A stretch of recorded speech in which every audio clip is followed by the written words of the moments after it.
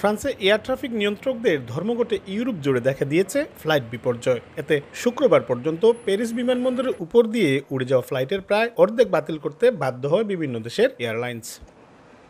ফ্রান্সের air traffic control union এক বিবৃতিতে জানিয়েছে, কর্মী সংকট ও মুদ্রাস্ফীতির কারণে বেতন বৃদ্ধির দাবিতে এই ধর্মঘট পালন করা হচ্ছে।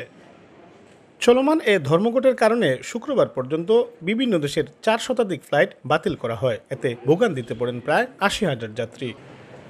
এছাড়াও ধর্মঘটের প্রভাব পড়ে প্যারিসের বাইরের বিমানবন্দরগুলিতেও।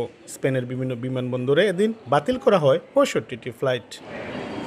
যদিও পরিস্থিতি নিয়ন্ত্রণের মধ্যেই রয়েছে বলে দাবি প্যারিস বিমানবন্দর কর্তৃপক্ষের। ধর্মঘটের বিষয়টি যাত্রীদের আগে থেকেই অবহিত করায় অধিকাংশই বিমানবন্দরে আসেননি বলেও জানানো হয়। মোহাম্মদ লুৎফুর রহমান বাবু সময় সংবাদ প্যারিস।